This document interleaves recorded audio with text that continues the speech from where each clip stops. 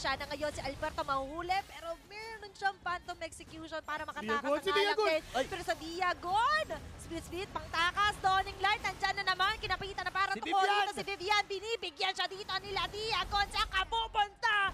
Alberto going in with a shot na Omega kill against Indonesia, wala na rin!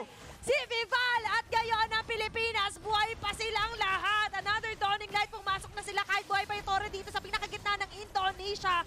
At kumapit muli dito si Diago, ang Blazing Duet ni Shell, pinipilit niya pawasan yung mga miyembro ng Pilipinas pero hindi sila lock. Eto na, kumakatok na sila, nilalakad, ginagapang lahat ng pwedeng gawin. At Pilipinas ang makakakuha ng pangalawang laban dito sa ating round na ito.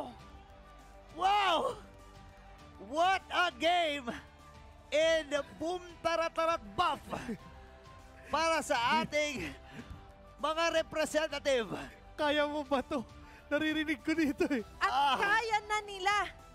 Kinaya nila. Oh, Hotdog, oh, kaya mo ba to?